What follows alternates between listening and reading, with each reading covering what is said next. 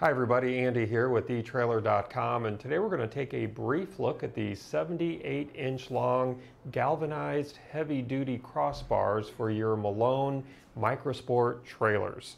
Now these heavy duty galvanized crossbars are designed for your Malone Microsport trailers to provide additional bar length and increase the load capacity to your sport trailer.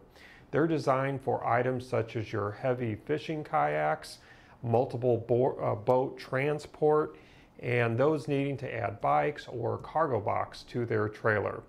As you can see on the table before me, uh, all of the mounting hardware that you need to successfully install these bars are included, along with end caps for each ends of the bars and instructions to guide you step by step.